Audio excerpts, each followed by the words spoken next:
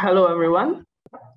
My name is um, Kweku. I'm a professional uh, officer um, um, at ICLEI Africa.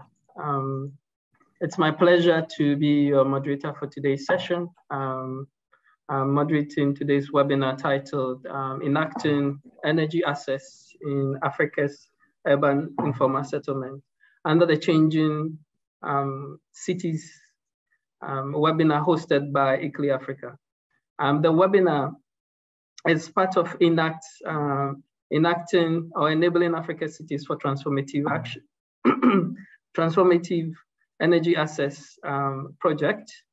Um, enact or uh, enabling the enabling African cities for transformative energy access project is funded by the foreign um, foreign foreign Commonwealth um, and Development Office of the UK government and is part of the Transforming Energy Access um, program.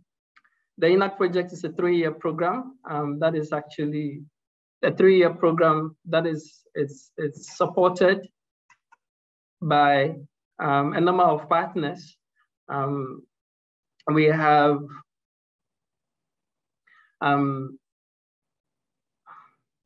we have um, um, um, FCDO, FCDO being the managing partner, um, ENACT being the delivery partner, and supported by Energy for um, Impact, um, with city partners in Uganda and Kampala. Um, the focus of the project is to actually enable um, energy access within informal settlements in, in Africa. Um, the objective is to improve energy security in Africa with the focus on um, informal settlements in these two particular countries. Um, before I actually proceed, um, I would want us to actually um, um, take a moment um, to, to, I would like us to take a moment to actually recognize and send our sympathies to, to, to um, um, residents of, of Susan's Bay who have actually been exposed to a major tragic fire incident in Freetown, um, which has affected almost about 70,000 people, um, almost about 1,579 households, um, and almost over 400 people injured in that particular incident. Um, so uh, on behalf of ICLEI, we send our very deep, um, heartfelt um, um, sympathy to those individuals and households that have been affected. And we want to assure our city partners that we are with them in this particular tragic moment. And before I actually proceed um, with the task of the day and the responsibility that is actually accorded me, I would wish we can actually just um, recognize some few house rules um, in terms of how the webinar is going to be structured and how activities are actually going to pan out. Um, the webinar is recorded, so as you participate and join the session, um, you naturally consent to um, being recorded. Um, when you enter the discussion, when we enter the discussion period, uh, please feel free to actually post your questions and comments in the chat box. Um, when we have time, we would actually call individuals or call, call individuals to actually pose their questions directly. In that process, kindly turn on your camera and your audio, then you can actually um, uh, uh, post or, or, or, ask your questions. However, in the meantime, please, as you join, turn off your cameras, um, turn off your audio and just listen in. If you have any questions or discussions, kindly post it in the Q&A chat sessions. But before we actually proceed, um, I would again would want to also remind you, this since this is the decade of action for Africa, um, Rise Africa Action Festival 2021 it's actually encouraging participants to actually join and submit proposals for various sessions um, covering um, art creative expressions and papers um, for this particular festival. So we encourage everyone, urban scholars, practitioners to actually um, note this particular date and send through their participation ahead of time. Um, before I actually proceed, I would, I would, I would invite the head of my department to actually speak and welcome everybody here to today's webinar. Um, before I take the excitement out of, of the entire, uh, entire presentations, the amazing presentations that we have for today's sessions.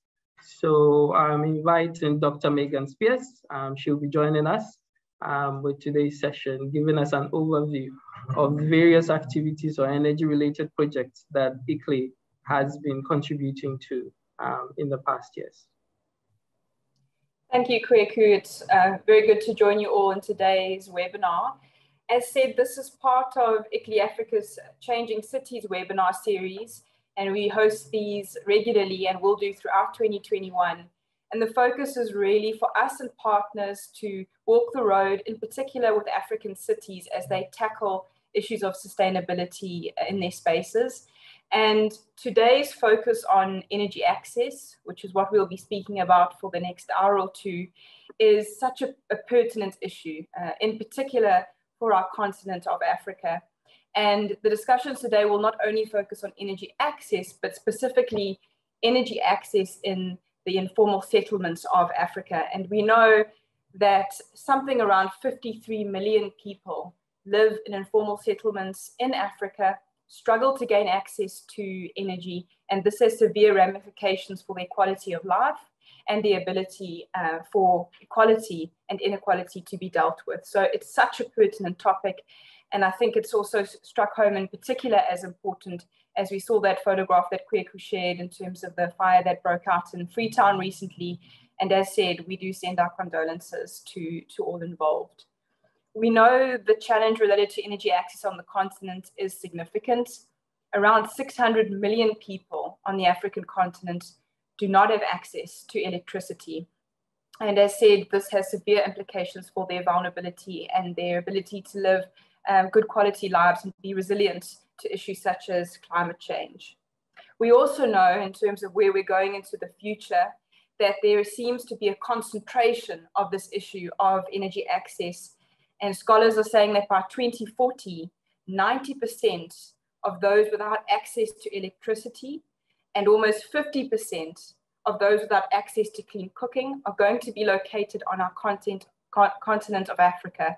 And so tackling this challenge is pertinent, it's urgent, and I'm really looking forward to hearing from the experts on our panel in terms of how this can be dealt with, particularly in terms of uh, energy access and informal settlements today.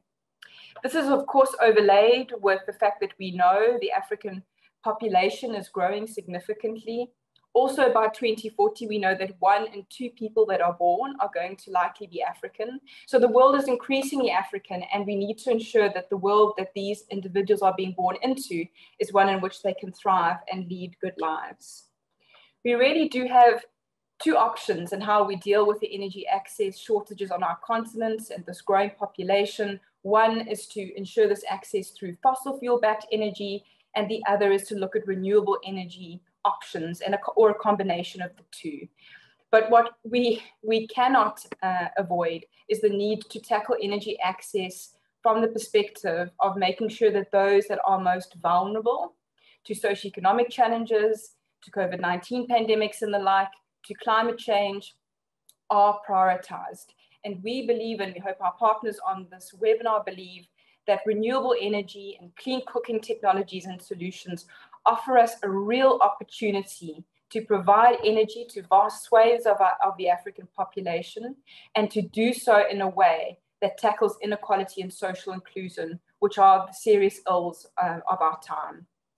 I, I, before I hand back over to Kweku, who want to say a very special thank you to the funders of the ENACT project that we, ICLEI Africa, are implementing with the project managers, Carbon Trust, who are here with us today, with our, our partners, Energy for Impact, that are also represented on the panel, and funded by FCDO, who has put countless uh, pounds towards trying to tackle this issue of energy access and particularly energy access on the African continent. We, we take this program and this project very seriously. We're very grateful to the wonderful collaboration we've had to date with our partners in Kampala and in Freetown.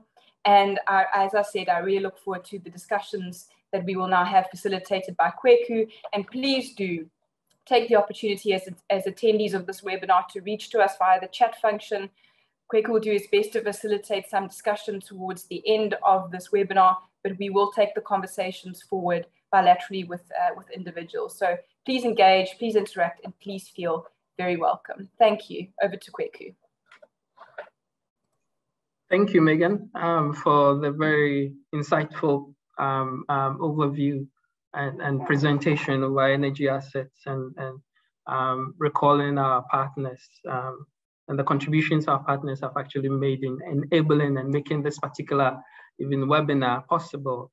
Um, again, as I indicated from the initial uh, presentation, we have expertise and we've been working and partnering with a number of, of, of cities and and and we wouldn't want to actually take the excitement from from them and messages from them. We want to actually allow them to present their own story. Um, so we want the cities to set the scene for today's presentation um, by enabling them to actually speak on their issues and, and be able to give us an overview of what actually pertains within their own context. Um, for that reason, we would again give the honor to um, Freetown. Um, we are inviting Evans Baines-Johnson from Freetown to actually um, start the presentation um, um, for us, set the scene and give us an overview of how energy access looks like in Freetown and what we should expect. Mr. Baines-Johnson, please over to you.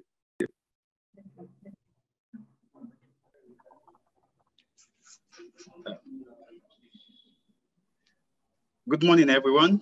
Um,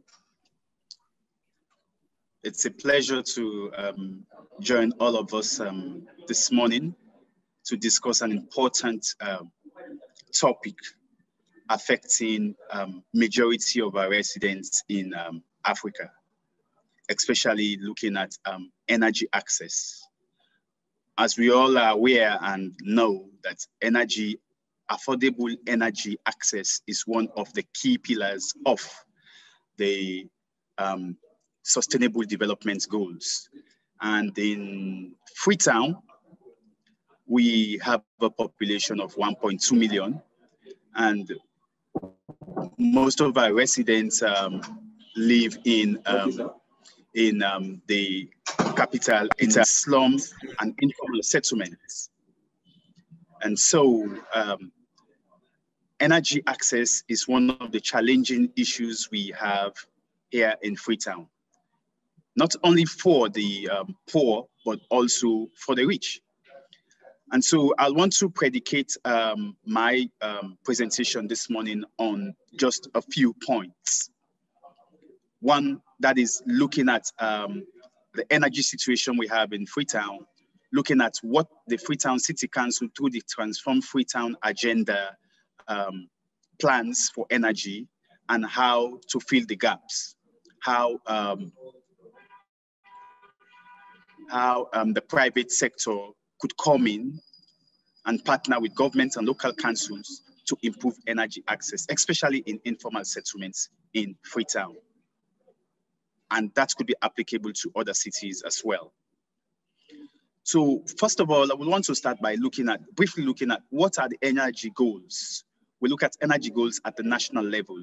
So of course, I've talked about the universal access to energy, and we also like to look at the financial sustainability of this access and reforms in the energy sector and the significant increase in renewable energy.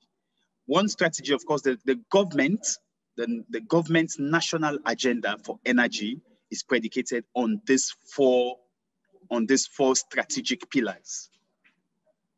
But also, we are looking at the Transform Freetown and how this aligns to the energy, um, affordable energy, especially for our residents, 35% of whom live in informal settlements around Freetown.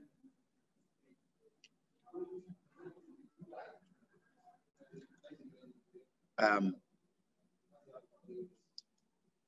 so like I said, let me just go and look at um, the, the population and energy, because that will give us a sense of how we are energy insufficient. So for the whole of the country, we have a population of 7 million.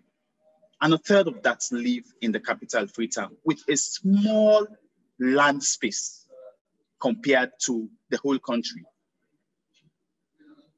Urban households in the capital city is about 583,000 compared to the rural households of about 600,000. And generally, the, the capacity of electricity generation nationally is mostly not from renewable sources. So we have the hydro, which is um, producing electricity mostly during the rainy seasons and in the dry seasons like now, we depend on generation from thermal electricity, uh, from thermal electricity, which produces about 63%, about 152 megawatts of the current electricity. But one thing that is um, purely on the low at this moment is looking at alternative renewable energy sources, which put together is about 30 megawatts, which is 12%. But we haven't seen the private sector coming into the energy field in a small scale at the moment, about 4%. That's 10.4 megawatts being generated. And so we focus on Freetown. Freetown, like I said, has a density of about 8,450 persons per kilometers. Freetown is one of the most crowded cities in Africa compared to 16,900 um, persons per kilometer in Kinshasa and other places. And the city alone accounts for about 30% of the country's GDP, despite housing about 15% of the population and occupying less than 0.5 of the land mass. So we can see this. Freetown has 72 informal settlements scattered along the coast and hillsides.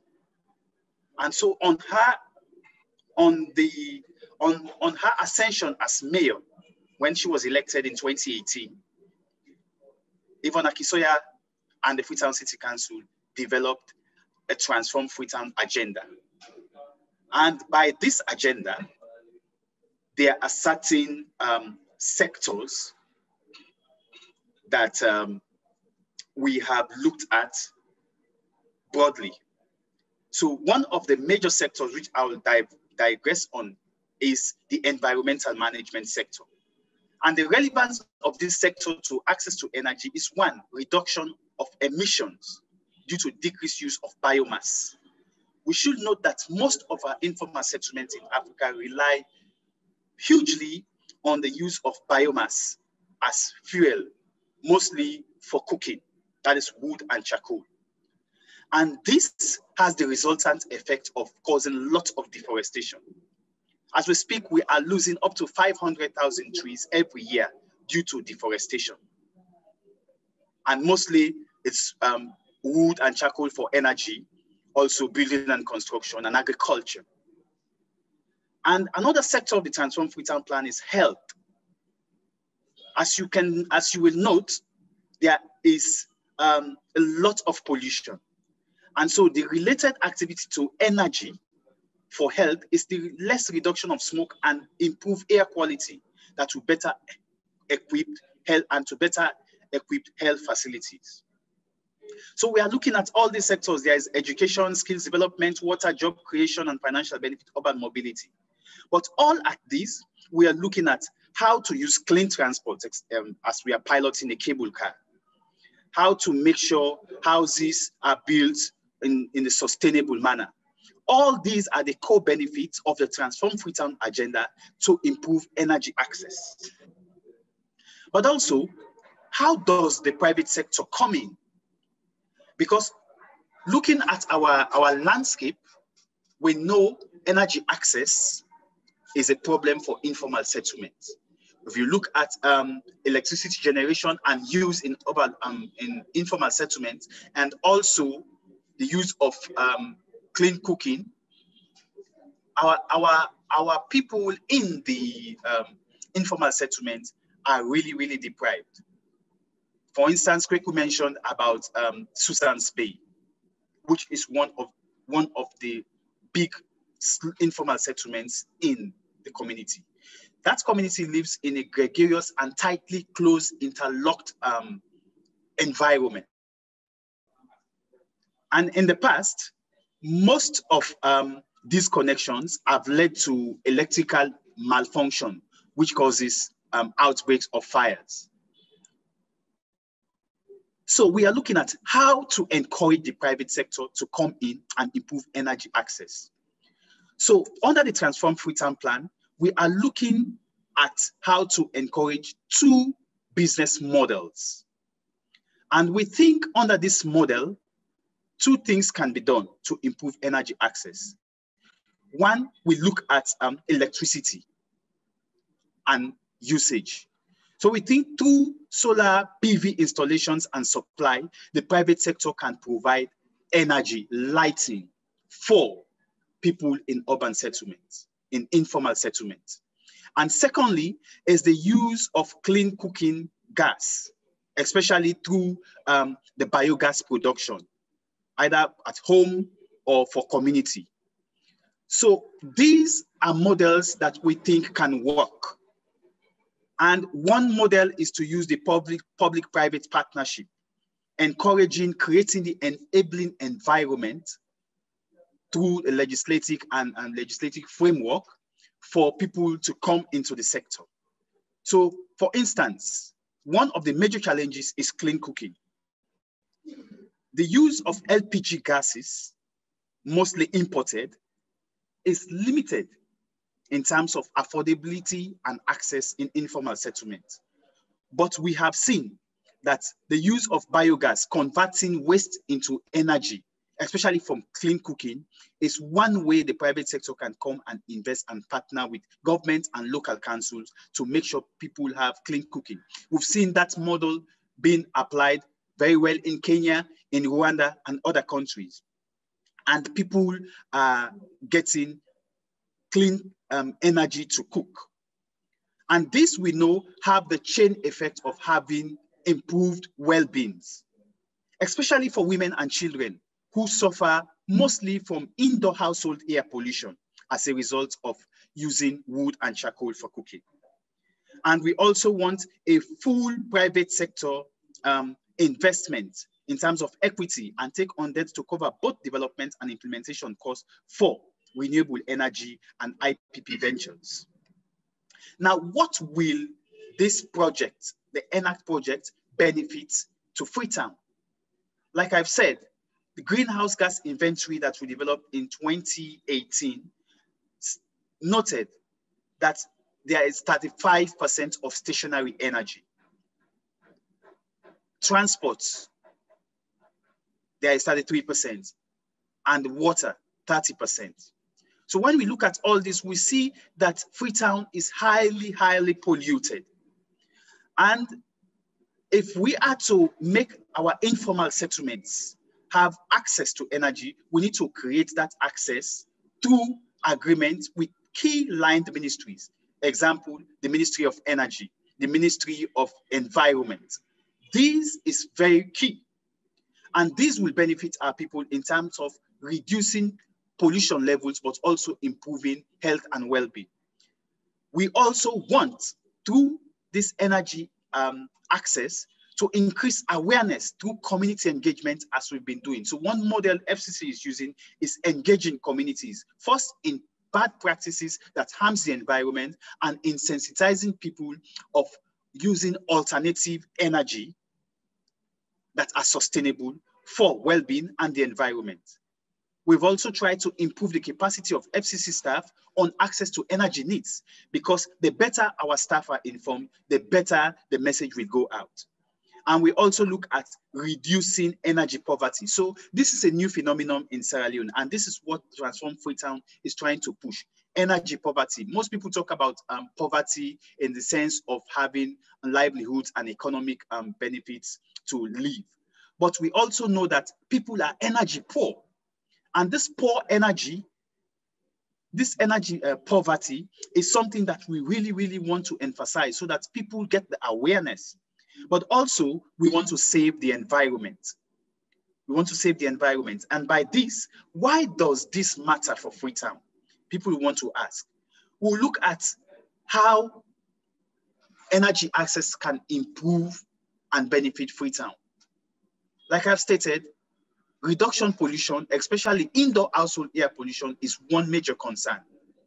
Most people reporting for oh. um, health statistics, most people see that there is an increase in access um, in, in cardiovascular diseases. So there is a health benefit associated to clean energy.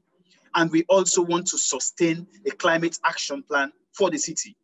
So energy access is part of the climate action plan we are developing for Freetown. And by that, we will leverage the energy poverty that I'm talking about. So there are enablers also we want to look at. That is to unbundle public energy entities, increase the presence of public, private, and public sector entities and international partners, and get a national commitment to increase energy access to renewable energy potentials we know that Sierra Leone and Freetown has um, renewable energy potentials and we want to scale that. And the ability for the city to control budget, especially through the through encouragement of private players to come into the space. And now we want to look at um, the legislative and um, environment so as a council, we do not regulate energy as, as, it, as it should be because the 2004 Local Government Act under which we operate has not devolved the function of energy access to the council. But, and so FCC does not have um, energy access project we are implementing. But through the Transform Freetown agenda, we are seeking to broaden energy access as part of our environmental management plans. And with this, and uh, the work we've already been doing in planting trees to save the environment and looking at promoting the use of alternative energy, especially biogas for our um, informal settlement. And powering and you know promoting solar energy in our um, in our informal settlement is the way we think we can regulate and promote energy access in our informal settlements. I think um, for FCC and for Transform Freetown, that is our energy situation. I'll pause here to um, listen to questions. Thank you. Thank you so much, LBJ. Thank you. Thank you. Um, um, I mean, thank you for making time on such uh, busy schedule um, with the situation in Freetown to actually join this particular webinar. We know how, how difficult it must be for um, FCC um, um, at the moment to actually make time to actually uh, be part of this particular um, webinar. And we are very grateful for your input and giving us an overview of, of the situation in Freetown. Um, and I guess you set the conversation rolling. But um, this is just a quick reminder um, to the next few speakers, kindly stick to your time because uh, we just want to give everyone uh, an opportune time to be able to present um, their, um, their slides as much as possible. So you don't have to be in a hurry, but try and keep it to the point so that again, we can enable everyone to actually present um, as, as, as, as, as required. However, um, we, since we started from Freetown in West Africa, um, Sierra Leone, we are now going down to Uganda. Um, and we are, um, our next speaker is from the Ministry of Energy and Minerals Development in Uganda, Martin, Martin Bingwa. Um, please uh, take over and and, and give us an overview of the situation in Uganda. Uh, thanks, um, uh, uh Mr. Kweku. Uh, uh, a greeting to you all. my name is Martin Mutabingwa. I'm an energy officer with the Ministry of Energy in Uganda. and my presentation is just going to be an outlook perspective on the the, the, the, energy sector of Uganda. Uh, we shall I'll take you through a bit of the supply, demand, and access structures. Uh, maybe just a brief uh, data on uh, the informal settlements uh, in uh, Uganda in general, and maybe Kampala in particular, uh, the energy challenges that we're facing, the gender balance consideration that the Ministry of Energy is, is putting in place, and maybe some outlook on uh, scaling uh, of clean energy and uh, affordable energy solutions. So the Ministry of Energy, uh, uh, in short, MEMD, uh, the man our mandate is to develop, manage, and is, is, to develop and manage and maintain the, the energy infrastructure projects in the country we advise government on matters concerning energy and mineral development in uh, projects generally. We collaborate with international and uh, intergovernmental and other state agencies on matters relating to development and maintenance of energy projects and to contribute to addressing the energy concerns through coordination with the relevant energy agencies of the government. So in 1999, uh, the Electricity Act uh, unbundled the, the, the government, the, the Uganda Electricity uh, Board, which was main, which was in charge of generation, transmission, and uh, distribution of power. And uh, the new structure, ever since 1999, uh, has government, particularly as a bulk purchaser and supplier of power, that is the UETCL, uh, the transmission company.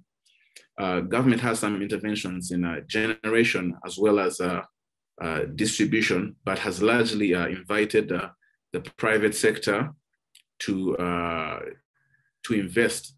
And so we have many independent power producers, as well as private companies running the distribution service territories uh, within the, the, the, country. We have some uh, off-grid uh, structures, uh, for example, in the West Nile region of Uganda, where we have some small distribution companies that directly supply, directly get, generate and supply to customers. But uh, the generation and distribution uh, criteria and licenses are all uh, managed by the Electricity Regulatory Authority which is under the Ministry of Energy. So that's the general structure of uh, the energy sector in Uganda. Can move to the next, please. So Uganda has a total installed generation capacity of uh, 1,252.3 megawatts, uh, and we're expecting uh, more by the end of uh, next year. Uh, the peak demands for Uganda fell during the, the, the, first impact of, of the COVID-19 uh, pandemic. But as of February 2020, we had reached about 728.7 uh, megawatts. Uh, on a national level, 50% of households have access to a source of electricity, uh, be it uh, on the national grid or by uh, solar lighting or owning some form of solar system. This, this normally involves on a smaller scale, maybe uh, just uh, lighting and maybe a charging system, and in some instances uh, a bit more than that. But that's uh, that's how that, that's how the, the, statistics are spread out. We have about 30, 33% of our rural households using off-grid solutions as their primary source of electricity. Uh, this is majority for uh, solar lighting systems. Uh, as per our 2018 uh, electricity for road transformation uh, census, we we assessed that about 74% of households spend less than 5% of their income on uh, fuel for cooking. Uh, we realized that the energy, the main energy consumption is normally around cooking, and about 74% uh, was using less than 5%. This is because of uh, charcoal and firewood being primary sources for cooking as opposed to uh, electricity and uh, LPG. Uh, where settlements uh, try to improve their, their cooking stoves, the, we, we realized that about 47% were spending just over 5% of their, of, their, of their household income. And so uh, that, that shows you that there's a certain uh, price challenge that we have when it comes to clean sources of uh, using energy. Uh, as far as the challenges that we, we can assess uh, in across the country and even in uh, Kampala, the scope of this project, clean sources of energy have an issue about, have, have a challenge of cost and uh, one of the potential solutions that we have tried to implement is uh, some re reduction of taxes or tax exemption, for example, uh, tax exemption on solar products to make them more affordable and therefore uh, more accessible. Uh, we, as, as a growing country, we of of uh, electricity connection uh, fee. And this uh, led the, the, government to uh, implementing the electricity connections policy, which to fund the connection fee and the, con the connection fee pole and one pole uh, connections. Uh, then uh, for the issue, for the challenge of high cost of house wiring, the the Rural Electrification Agency and the Ministry of Energy work together to create uh, uh, ready boards, distribution of ready boards uh, at a subsidized price. And this would enable some people to uh, have cheap uh, uh, early access to energy and maybe just through cultural change, encourage them to use more electricity. If you could to the next slide, please.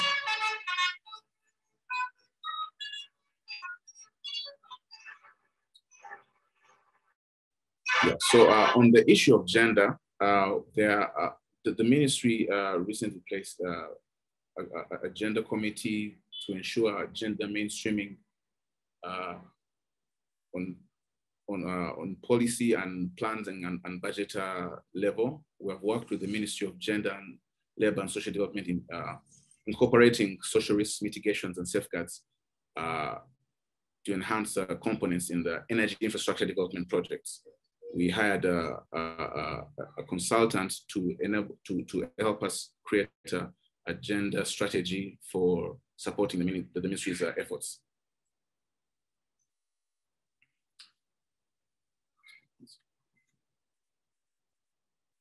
Uh, go to the next one, please. Yeah, so additionally, uh, promoting uh, gender equality in, in, access to clean energy solutions.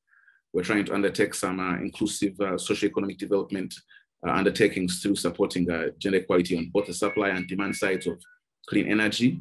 Uh, we are supporting women as beneficiaries of clean energy technologies, including productive uses, as well as women as energy service providers and improved access. One of the things that uh, this uh, this consultant that the ministry has hired is doing is to enable us to get more uh, disaggregated metadata on uh, on on on, on uh, what the actual scope of undertakings needs to be, and this is enabling us to even promote more gender mainstreaming in our efforts. some of the some of the outlooks for scaling up access to clean energy and affordable energy solutions uh, involve uh, promoting energy stoves through subsidies. Uh, we're training communities in collaboration with the NGOs and district uh, local governments, and uh, also trying to develop standards for energy technologies uh, and, promotion of solar, wind, and biogas and efficient charcoal production. thank you for your time. Thank you so much, um, Martin, um, for the very brief um, overview of the energy situation in Uganda, um, particularly looking at um, um, giving a whole overview of, of the country and the various energy dimensions and domains, specifically also looking at our interest area that is with poor urban households. we, were, we are supposed to be joined by an officer from KCCA, but unfortunately, um, he's having some connectivity issues. So I would call on the next speaker, uh, Mercy Rose um, from Energy for Impact um, to step in as we try and connect with Uganda. Um, I mean, as you are all aware, um, connectivities and technologies can sometimes fail us. So at this moment, we trust and hope that he is able to actually connect with us and take over and present his, his side um, and the, the situation from the city of uh, um, um, Kampala. So Mercy, um, please, you can actually um, begin your presentation and yeah, take it from here. Okay, thank you very much, Kweku. Um, hello, everyone. Thank you for taking the time to join this webinar. Um, perhaps we can just get started. Yeah, so I will be going over four key issues as pertains to urban energy access in sub-Saharan Africa. So I'll look at the some of the key challenges in access, uh, the barriers to a delivery of um, energy and as well as access, um, how to go about addressing these, uh, these challenges and some of the underlying factors involved in designing an intervention. Um, so to start with, the UN Habitat estimates that about 59% of urban dwellers in Africa live in informal settlements. So if the, the urban population is projected to triple to 1.5 billion people between 2015 and 2050, and if nothing is really, and if everything um, remains constant, then the number of urban dwellers living in informal settlements are likely to increase by a similar rate. Um, the problem with urbanization in Africa is it does not bring the same level of, of economic growth as experienced in other regions across the world. Um, Sub-Saharan Africa in particular uh, is urbanizing at a much lower GDP per capita uh, level uh, compared to other regions. And as a result, the share of the urban poor continues to grow owing to the rising inequalities in, in income and uh, economic opportunity in urban areas. Access to quality, reliable, and affordable energy would play a pivotal role in facilitating improved livelihoods through income generation, improved household health, improved social services, and savings for the end users. So if nothing is done now to improve energy access, we risk missing the SDG 7 um, to ensure access to affordable, reliable, sustainable, and modern energy by 2030 by at least 100 million people. Next, please. Um, so before we can address this energy access challenge, we need to understand the underlying barriers, both to improving energy services and infrastructure in informal settlements and to accessing them. Um, in on the supply side, I would say the, the three most common barriers um, on, based on our research are cost, policy, and information. So energy providers, both private and, and public, perceive urban informal settlements as a high risk market. Um, some issues related to cost include things such as um, cost to upgrading or extending the, the existing main grid, um, the haphazard and dense nature of the layouts of the houses, which makes it difficult to expand, uh, difficult and expensive to expand um, or set up a main grid um, network or access roads, a lack of proper distribution channels for off-grid energy and co clean cooking products, uh, which forces companies to set them up themselves, often at a great cost. In addition, there's very limited opportunities for energy providers to access finance to serve the urban poor. In terms of policy, um, governments in Africa often avoid making any strategies to improve um, infrastructure or services in informal settlements for fear of it being perceived as legitimizing these areas.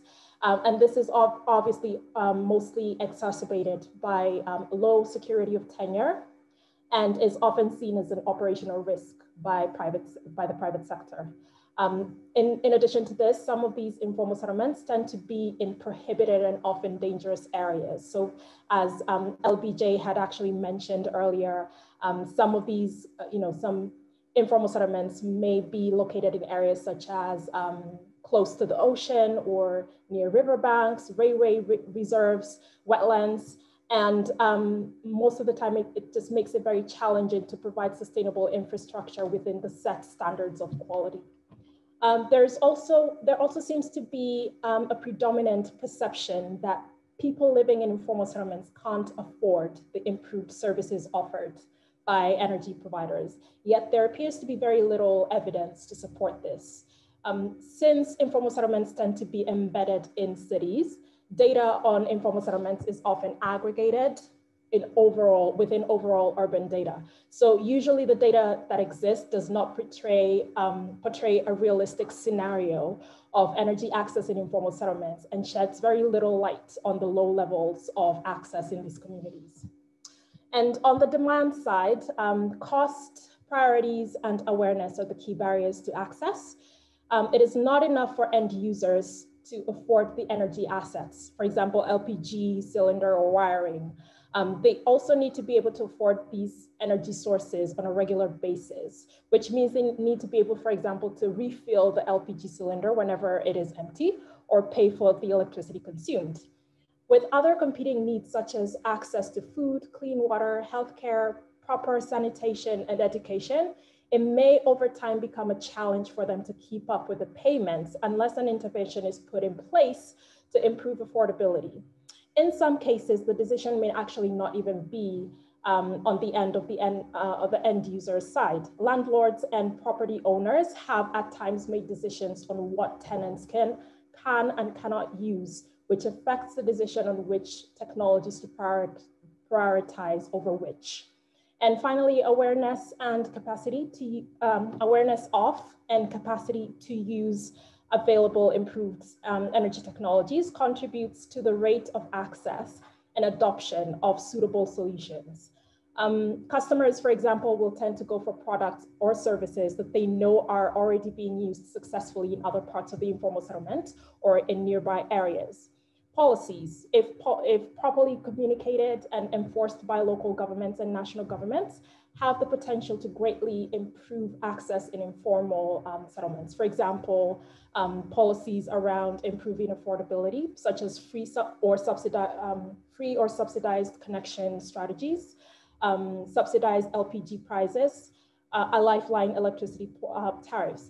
But the problem now is most households and micro enterprises are actually not even aware these policies exist. Um, next, please. So given this background then, how do we then implement energy access interventions to ensure impactful results and sustainability within um, informal settlement communities and in the urban space um, as a whole? Um, this will obviously require close collaboration and engagement with key stakeholders, both within the communities and, um, and government and private, uh, uh, well, both within the communities and at government and private sector level. So who do we need? Um, I think um, we need the private sector to pioneer innovation um, that seeks to meet the needs of urban informal settlement communities while also bringing about social impact um, a certain level of competition will help drive down technology costs, improve R&D innovation, and improve customer services. The private sector could also support in developing robust um, systems and processes to capture key data that would help with understanding and profiling urban informal settlements for um, energy planning. We also need the public sector to create a conducive policy environment that allows for private sector involvement in improving urban energy access. Um, the private sector will also provide an oversight um, that is needed to ensure that the interventions are streamlined with national and local development strategies and that the needs of the communities are met.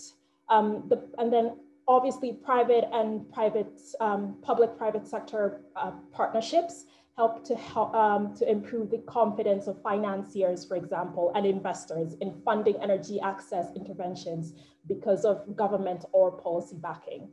Um, the local community's input is also very um, crucial in helping to identify key gaps in energy access, challenges to access, and also in designing a suitable intervention, including what other additional support would be needed um, for the intervention to be successful.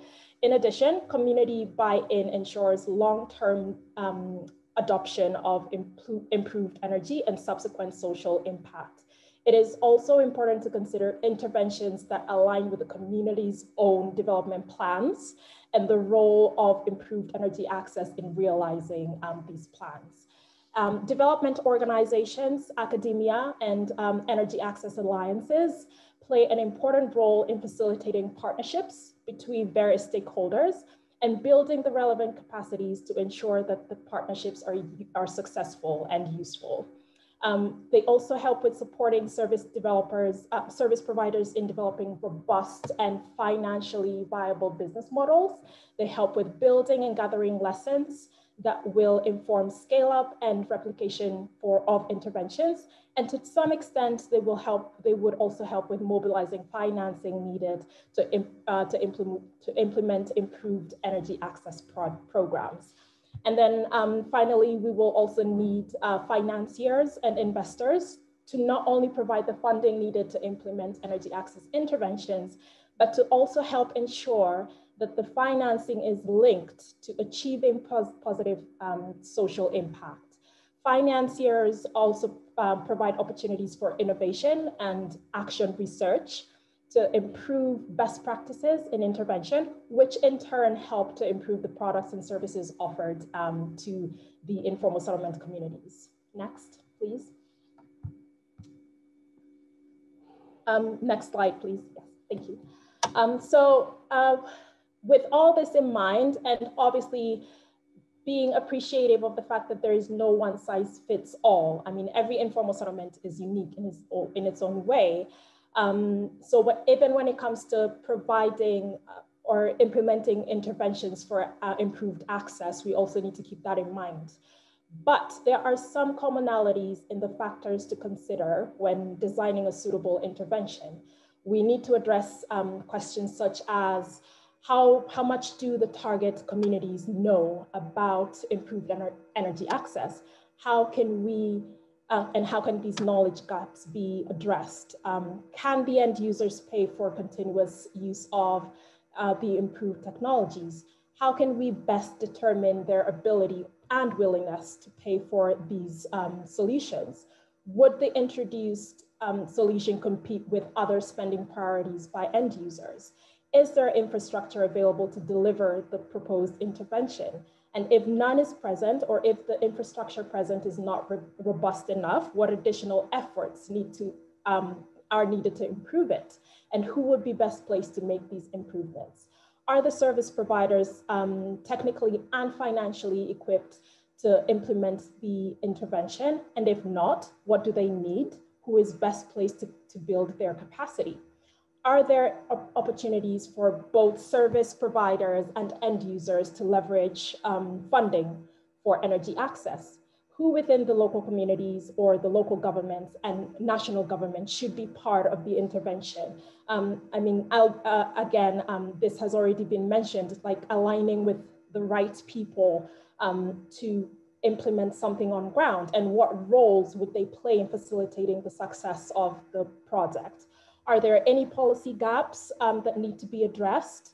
And if any exist, how much effort would it take to address them and who would be placed to facilitate these changes? How does the intervention fit with the community's short to long-term development plans?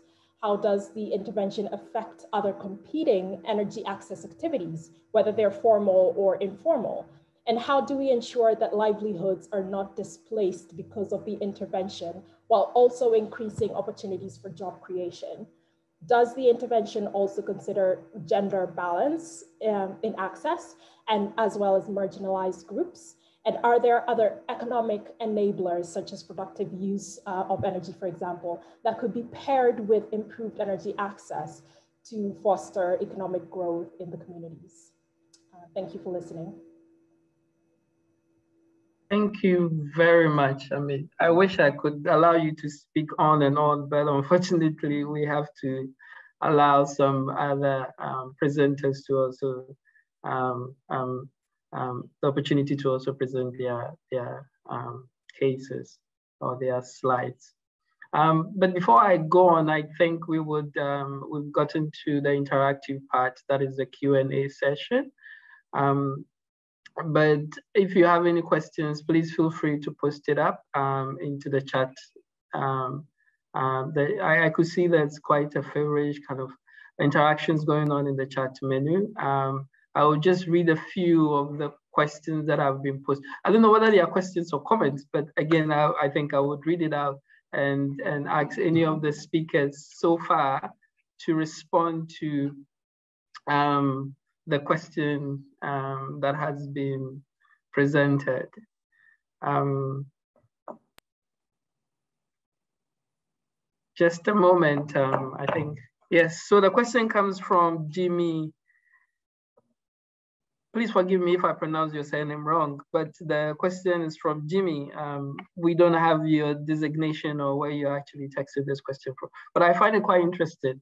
It's on energy access without looking at the bankability, bankable projects, which makes access to energy economically empowering should be core. Otherwise, investment without profitability makes little sense today in today's world. What is the way forward I think this is where the question actually comes in. Um, what is the way forward towards energy access in relations to socioeconomic bankability of transformative projects coming from the private sector? Um, any of the panelists so far, if you can um, respond, I'll be quite grateful. Uh, Mercy Rose, you can take over then. Yeah, um, I think um, thank you very much for that question. And, and I think it's actually very relevant in uh, this day and age where we're not just looking at private companies um, to making profit, but also what their products or their services mean for the communities that they are serving. So there has been a lot of uh, there has been a trend coming up over the last few years where financiers are also looking at social impact. Um, so it's linking the financing aspect of um, the funding that they're bringing, bringing, putting into a business and linking it to the impact that it has on the beneficiary communities. And they're starting to be very um, serious about metrics and um, monitoring and learning around the social impact that comes with the products and services. So this is something that's actually happening a lot uh, among investors. Um, there are obviously social impact investors. Um, the development finance um, institutions are also looking closely into um, the met uh, key measures of uh, social development. So this is actually, it's, it's actually a really good thing that's, um, that's been coming up and, um, and I hope that it continues to grow over the, uh, over the coming years because it's a very good way to also measure impact in the long run.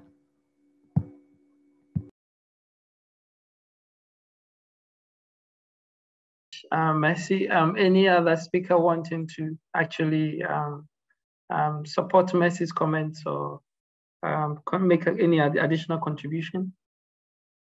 So please feel free if you have a question. Um, I think the gentleman who I missed earlier on, um, Belinga, um, you have a question. I will enable you to be able to ask your question now.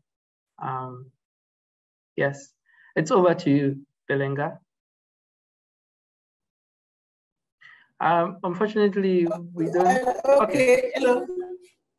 Okay, hello. Yes, yes, please go ahead. Okay, my is a francophone, no Anglo anglophone. My, my question is uh, uh, for uh, problems energy for women in Guinea. Because energy is very important for women in uh, West Africa. What solution is uh, give to women uh, Africa for the energy access? Thank Thank you very much. It's a very, very important question, and it's one of the focal points in this particular ENACT project. Um, I would wish any of the speakers could actually respond to that, um, more preferably Martin. Um, Martin, would you want to respond to that? Because I recall in your presentation, you indicated about energy sensitivity policy on energy access. And I, yeah, if you can actually give us a bit of how um, Uganda is actually addressing that gap and how you think other countries can actually learn from, from Uganda. Please go ahead.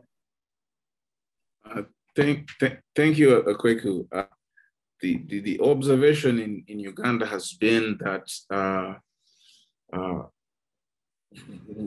there's a need for uh, gender mainstreaming, uh, even in the energy sector. And while we think about making it policy in ways to support uh, women in the in, in the in, in, in, the in the industry sector where we're talking about, uh, for example, uh, uh having so supporting women as beneficiaries uh, for clean energy technologies or uh, having them as energy service providers uh, we also are cognizant that even in the home, in the household, uh, we need to find a way to, to, to, to have uh, gender mainstreaming uh, uh, as a priority. We do realize that there's a problem, that there's a, there's a, a data gap where we have, uh, we, we need to get more accurate data on energy use in the household. For example, the recent studies by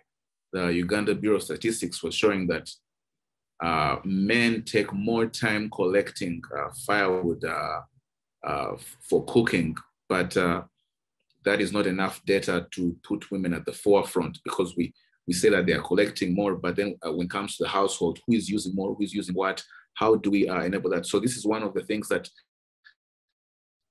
Ministry of Gender has been helping us to uh, assess, uh, to, to, to, collect data on. And we believe that through uh, this disaggregated data, we can be able to uh, put even more uh, targeted policies towards uh, promoting promoting the, the, the gender mainstreaming in our implementations.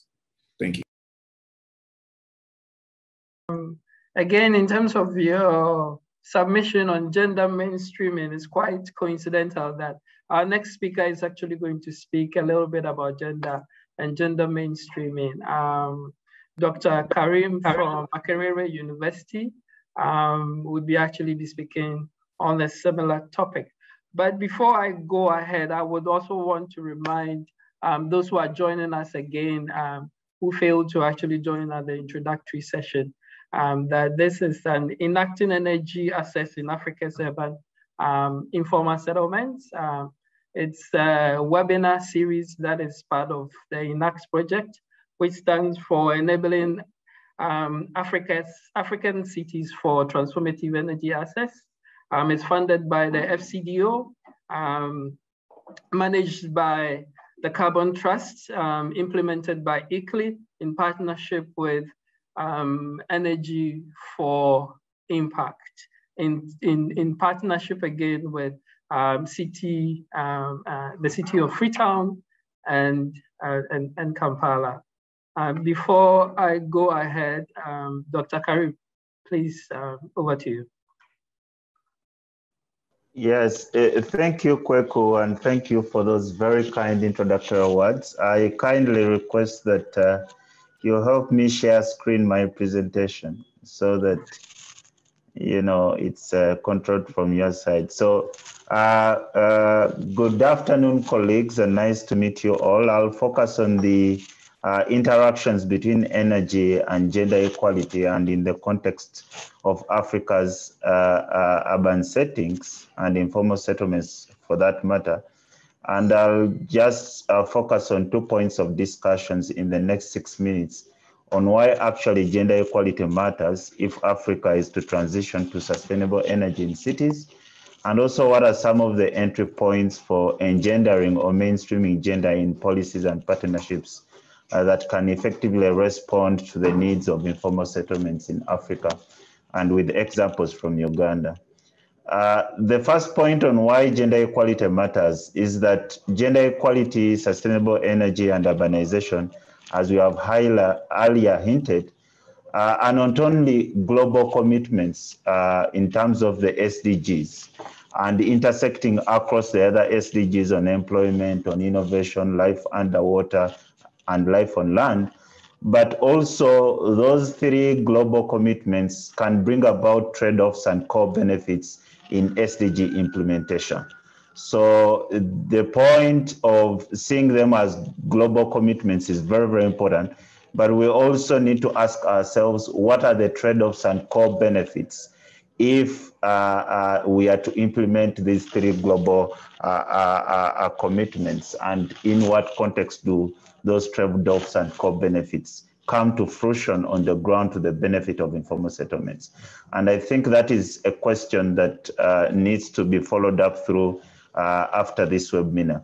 The other point is that there are gender-based differences in the needs and contributions that women as compared to men make. And of course, we need to look at women and men not just as beneficiaries and vulnerable people in informal settlements who have limited access to the appropriate mix of energy sources, but also we have entrepreneurs in the energy and informal urban sector.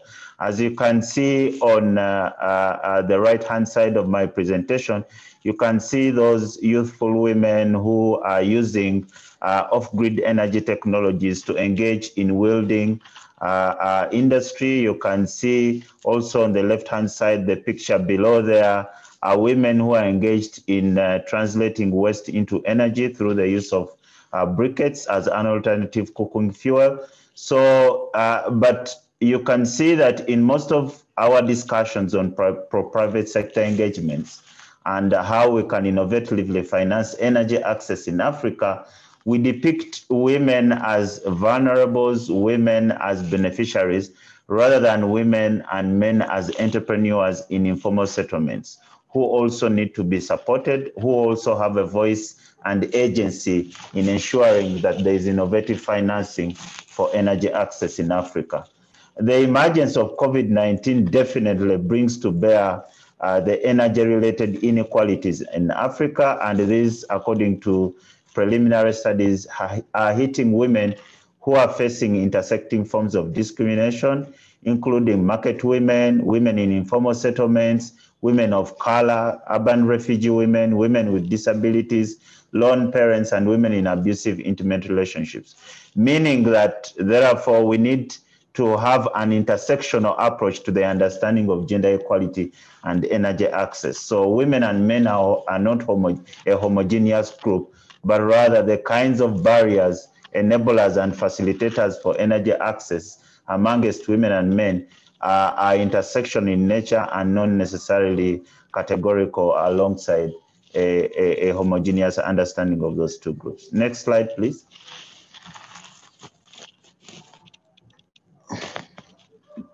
So what are some of the entry points from my point of view if we are to mainstream gender in policies and partnerships that would then uh, address the unmet energy needs in informal urban settlements? Uh, first, the dialogues and partner, dialogues around partnerships and policies need to uh, transcend the focus on vulnerability and on the entire focus on women's as energy poor at household level. We also need to look at women as people who are capable and as transformative figures in communities. A recent study that was done by the International uh, Union for Conservation and Nature showed that, for example, most of the country level documents on sustainable energy for all uh, within the UN were largely focusing on women as vulnerable groups, as beneficiaries uh, uh, uh of projects, or as stakeholders in workshops. Little, almost two, only 2% of those documents were really focusing on women as people who are agents of change in their communities, as energy entrepreneurs, as energy educators with capabilities to transform uh, their communities. So the dialogue is tilted towards vulnerability and therefore needs to be shifted towards women's capabilities and transformative capacity. It is also possible to uh, identify an appropriate mix of on-grid and off-grid services that can expand access. Most of the focus in the policy circles is on network expand, expansion, which then meets the national indicator in the national development plans, which is number of connections per grid. But we are seeing an emergence of off-grid energy services, which then allow uh, local communities and women in particular to make improvements in terms of energy access. And if the, for example, public-private partnerships or even policy approaches can identify an appropriate mix of on-grid and off-grid services, then these can be co-identified, co-designed, and co-implemented with women as entrepreneurs and beneficiaries in informal settlements. The other issues around orderliness and inclusivity. Most times, uh, government approaches access to energy from simply policy options that ensure orderliness, you know, grid lines and making sure that those who steal power are punished. But balancing orderliness with inclusivity is key, and we need to treat them as interdependent policy objectives, but also outcomes. And this is why the lack of balance between orderliness and inclusivity, this is why we are seeing a lot of power theft and illegal power tapping from electric poles in many of the African informal settlement cities. Uh, here in Kampala, we have uh, uh, the people we call the Kamiofu. In Nairobi, they call them the Mulikamwizi, who are navigating the landscape of uh, making sure that they provide grounds for inclusive connections for inclusive provision of power due to the fact that the policies and the municipal interventions at play resonate with orderliness but are devoid of norms and opportunities for guaranteeing inclusivity and access. Thank you so much.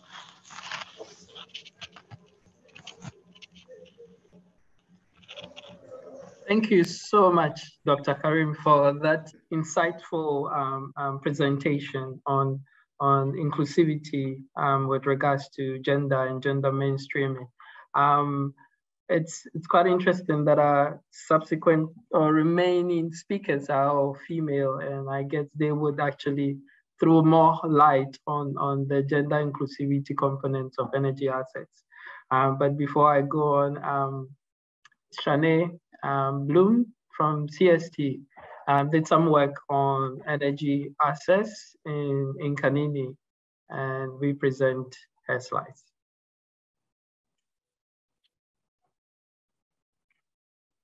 Good afternoon, and thank you for having me. Today, I would like to tell you about a story of a public-private partnership in South Africa. So Inkanini is an informal settlement adjacent to the township of Kayamandi. It's about three kilometers from Stellenbosch town centre in the Western Cape, South Africa. It has a population of over 8,000 inhabitants, and constitutionally, everyone in South Africa is subjected to basic needs like water and electricity supplied by the government. But unfortunately, this is not the case for everyone. So you find that people are using illegal, and informal, and dangerous connections from the formal houses in Kayamandi to informal houses in Inkanini. And currently, a connection like this could cost you up to 350 Rand per month. So, kerosene is also used for lighting in the houses. It is highly flammable, and this, together with makeshift electricity connections, can cause serious shack fires that destroy lives and livelihoods. So the iShack project is a social enterprise established in 2012 to roll out solar home systems in the Inkanini informal settlement. And the project has developed a public-private partnership model for the delivery of affordable solar electricity. Currently, 1,800 households in Inkanini have access to 50 to 70 watt solar home systems that provides power for lighting, television, and cell phone charging. In 2017, another pilot was rolled out in Siqalo, Philippi. The particular local conditions and absence of City of Cape Town subsidy funding, launching the iShack project into a different financial model called Help to Buy. It's a program where iShack helps residents to buy their own solar home system, paying off the cost in affordable monthly installments over 24 months. And in 2018, in partnership with Shack Dwellers International, the South African Alliance, and community organization Resource Center, the Longlands community became the third pilot project for iShack. Each household participates in a saving scheme where each household have received a grant loan contribution from the South African Alliance for the cost of their solar system and television. And they pay back the loan portion via their savings group.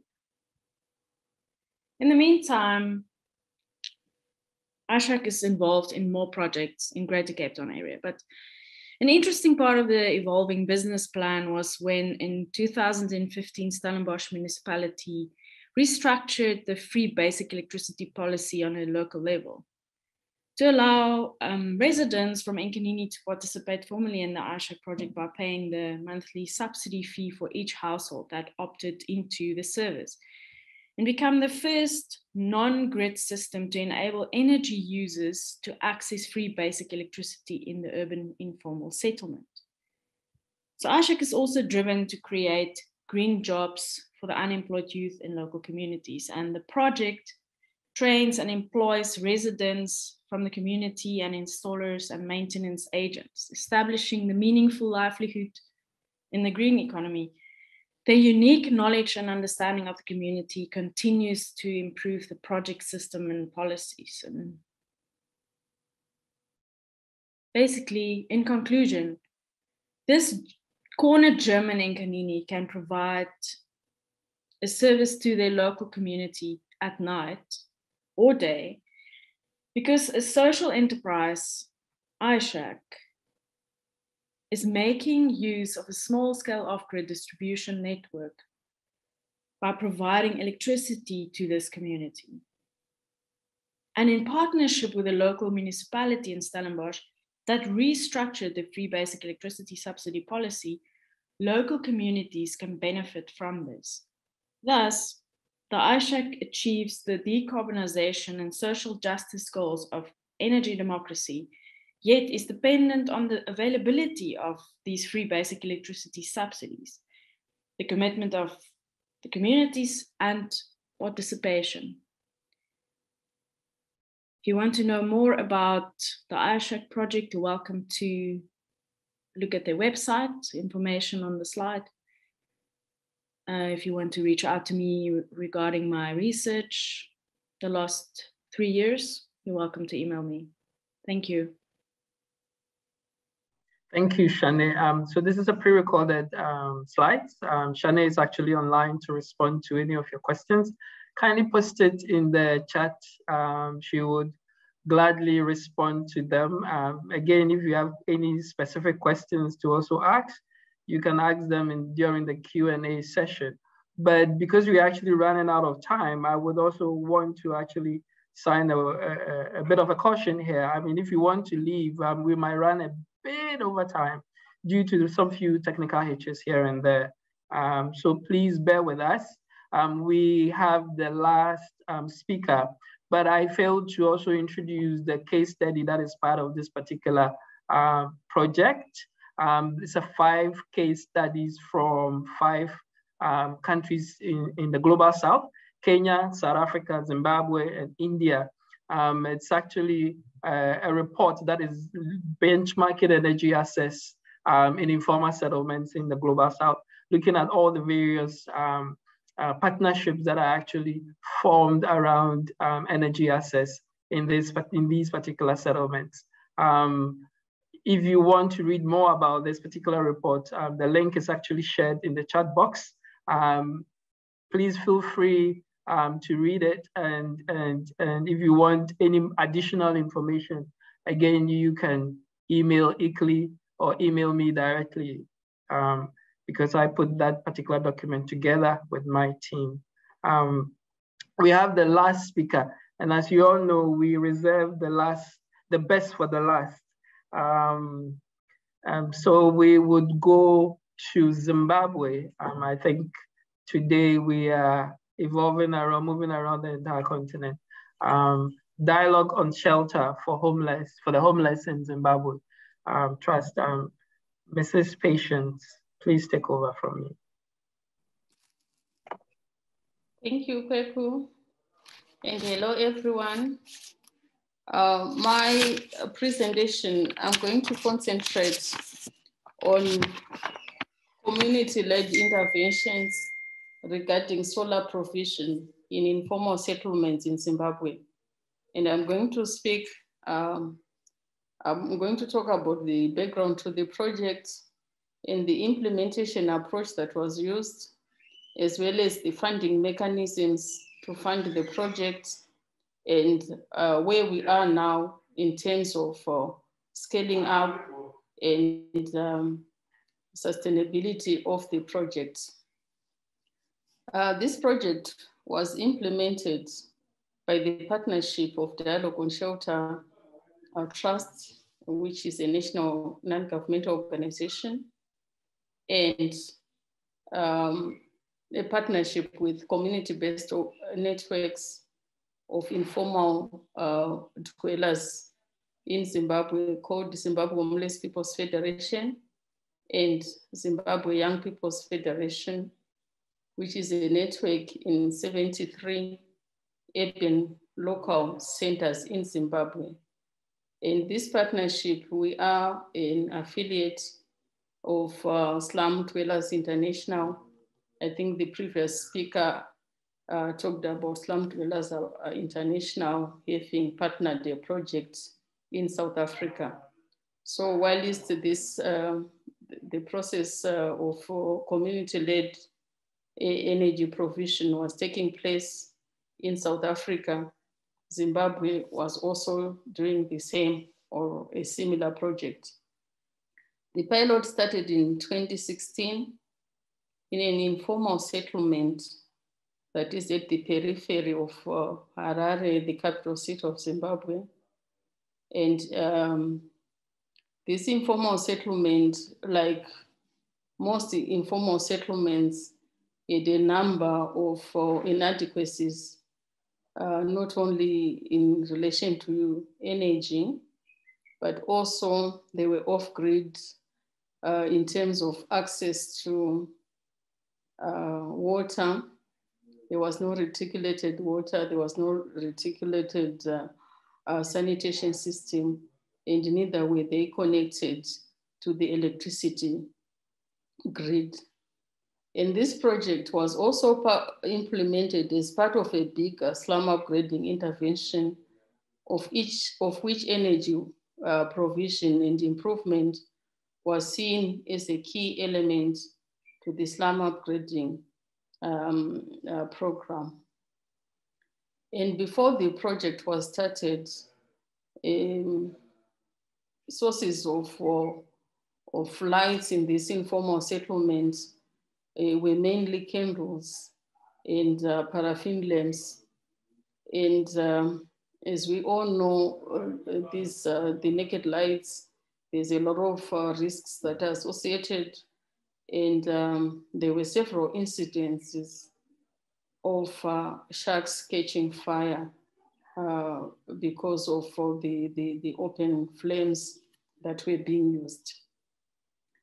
The focus of the project was to provide solar home systems to residents of this informal settlement as a pilot, uh, where the community would lead the process.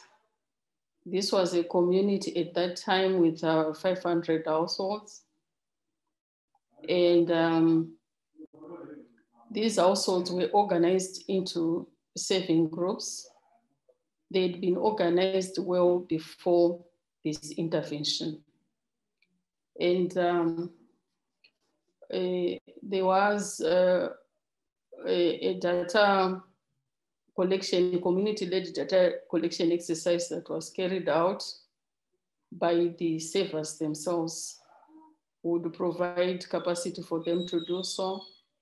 And it is during this process that they identified uh, the need for improved access to, to, to, to safer energy sources for lights that uh, the, the, need was identified.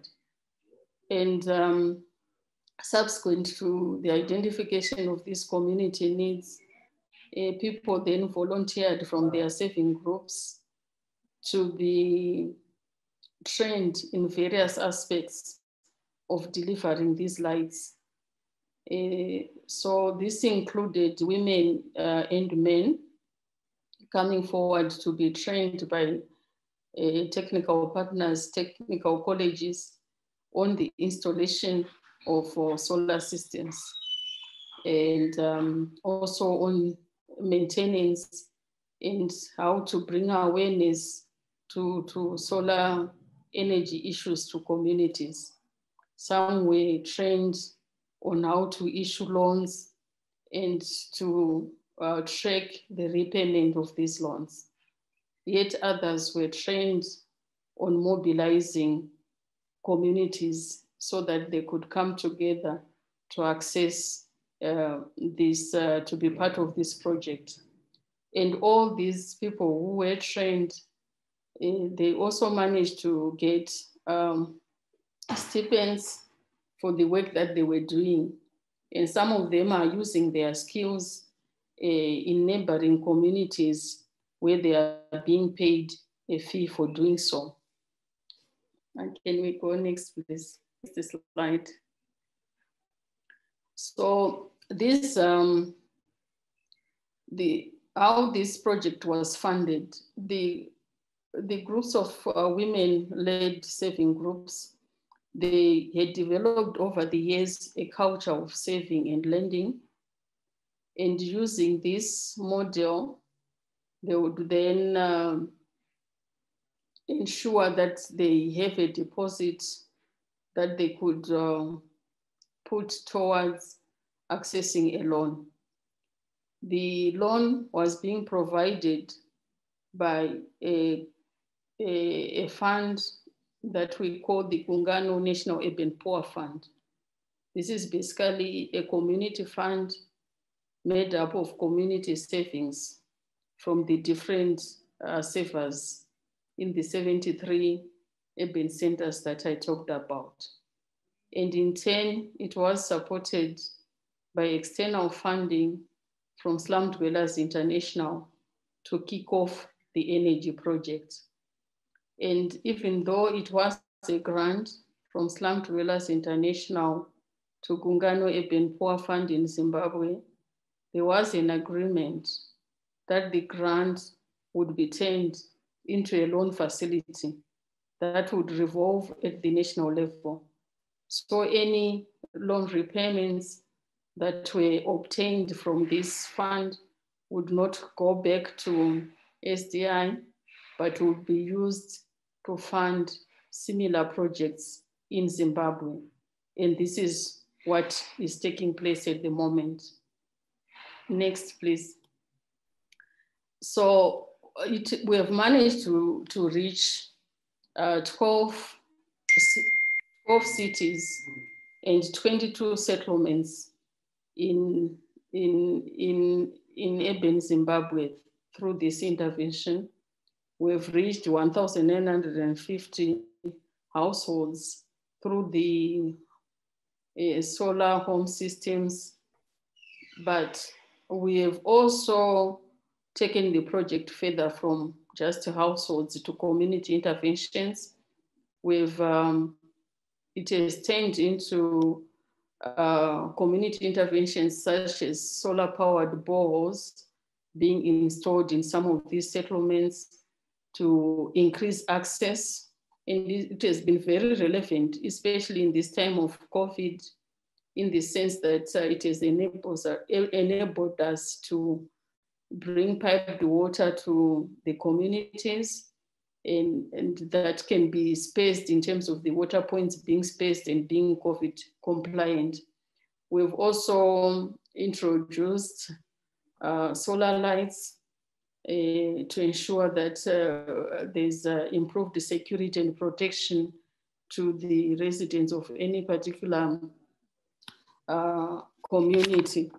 And uh, the project is ongoing, mainly because we have uh, uh, funded it as a revolving fund. And we expect it to reach more settlements and to reach co more communities. So even though it started in 2016 and the external funded ended 18 months later, this is six, seven years and the project is still ongoing. So thank you very much for, for paying attention. Thank you so much. Thank you so much. Um, there's a question in the in the comment that was actually asking for the KPIs um, to the KPIs um, required to actually implement an effective energy access project um, in Africa. And I think you touched on each one of them from financing, from community involvement, from partnership with government and other agencies, and how to sustain a project beyond the lifespan of, of funding uh, or, or, from donor funds. And then I, I think it's quite uh, an interesting um, summary of all the various case studies and the various presentations that you've also mentioned. Because again, your presentation also touched on gender, uh, the gender dimensions and all that. So again, as I indicated earlier, I think um, all our remaining presenters are going to be female. Um, but before I actually um, draw the presentations to a close, uh, there are a few, few questions in the chat that I think um, we can, we would have to address before we actually draw the curtains to a close on today's session. Um, I'm not sure whether this is actually a question or a comment um, from, from one of the viewers, um, from Mr. Odoa. Sorry if I pronounce your name inaccurately, Mr. Odo, Odawa. I kindly, I, I kindly and humbly request that all presentations in this very rare and unique forum to be shared to all participants. Please guide and advise me, thanks. Um, so what would happen after this particular session is we would uh, post the webinar sessions, the questions, and you can follow through all the various um, presentations. There are papers and links to the various publications linked to all the presenters, you can take your time and digest the various materials that we have actually made available during this particular um, session. Uh, I could actually see a lot of interactions in the chat room. Um, please feel free, post your questions in there. There's a lot of questions that I cannot respond to due to the limitations that we, with, with time. Um, However, please feel free. We have all our contact information and details in, shared within the various documents that have been distributed in the chat. Um, so kindly feel free to actually reach out to us if you need any additional information.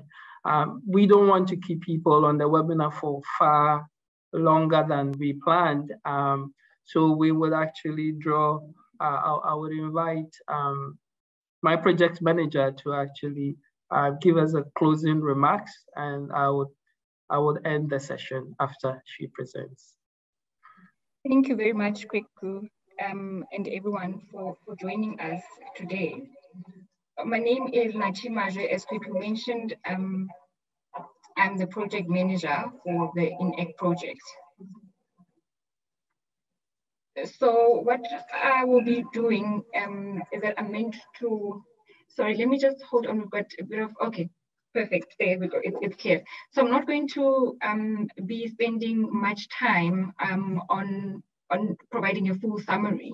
And I'll just request that with the with the Rise Africa that Kweku will, will go um, over that shortly. So uh, maybe we can just for now um, take that off screen.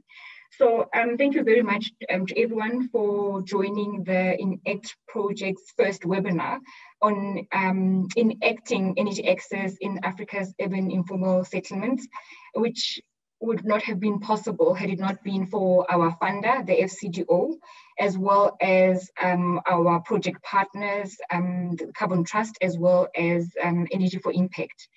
And we really are grateful to the project partners, um, to the project cities rather, um, Kampala, Freetown, as well as the, the ministries from, from Sierra Leone, as well as Uganda. And uh, most importantly, the, to, to the participants and the speakers. And we're really happy to have seen such a diverse audience from across the, the, the, globe and specifically on the continent with um, participants from Nairobi, Uganda, um, South Africa, Kenya, Zimbabwe, Ghana, um, Guinea. So the list is really is, is long. And this goes to show just how important this topic is um, of energy access, particularly in sub-Saharan Africa. So with that said, I think we'd all agree that um, the content shared and, and discussed during the webinar was very valuable.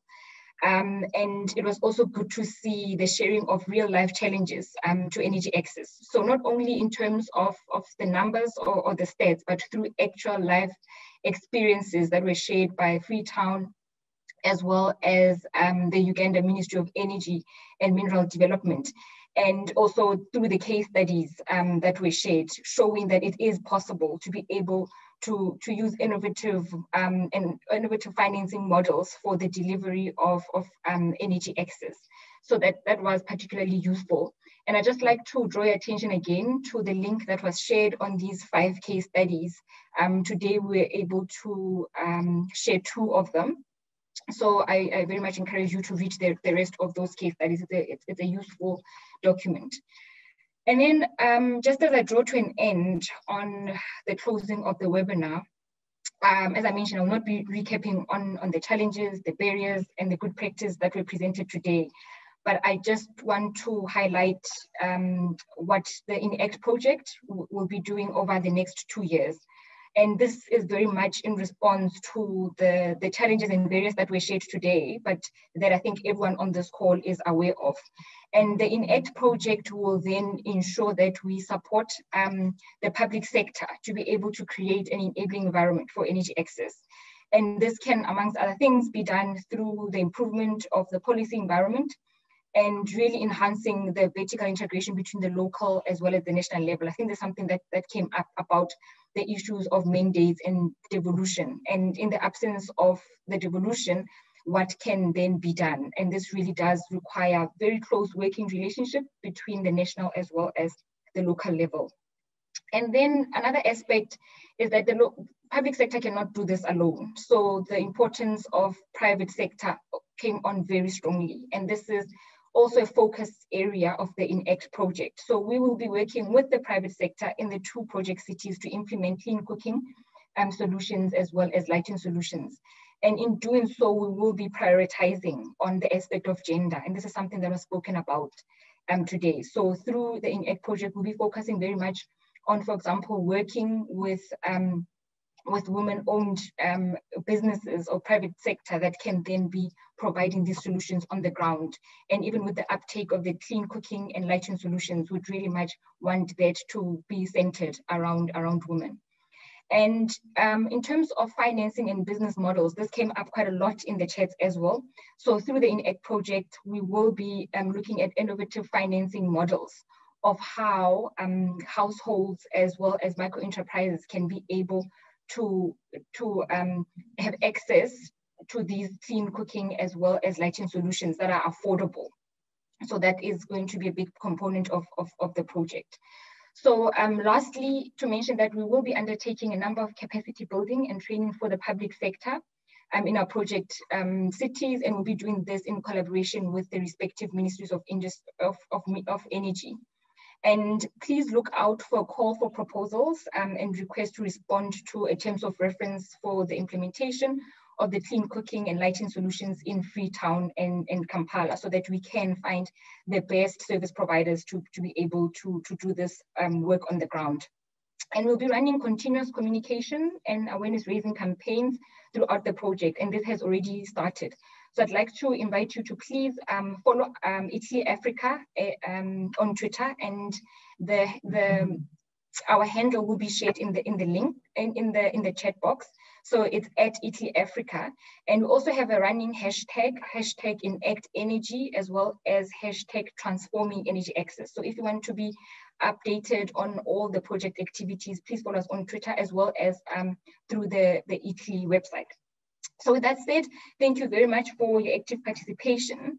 Um, the questions, comments, um, requests for collaborations have all been noted and we'll be um, following up on those and we'll look forward to being in touch with you again very soon. And I'll now hand back to Kweku to close the webinar for us. Thank you. Thank you, um, Nachi. Um, thanks for the very apt pre presentation and overview of the next stage in terms of what the ENACT project is going to do. Um, before I actually draw the curtains to a close, I just want us to do a few basic tasks. Kindly turn on your cameras. Please, no microphone, just your cameras. Um, everyone, please, speakers, participants, kindly turn on your cameras. Uh, in a live situation, uh, we would have actually be taking a, a group photograph, but unfortunately, um, we have to be innovative with regards to how to go about this. Turn off uh, on your cameras and um, and we'll take a screenshot. But before I actually leave you with, um, my name is Kweku Cranton. Again, I'm a professional officer for ICLEI Africa. Um, um, and I would want to draw the curtains to a close. I'm very grateful for the time that you you made to actually uh, present your various pieces, the time for listening and the time for actually um, um, sharing your questions and your contributions and your discussion. It has been an amazing time. Um, and I look forward to our future interactions in the near future. And bye.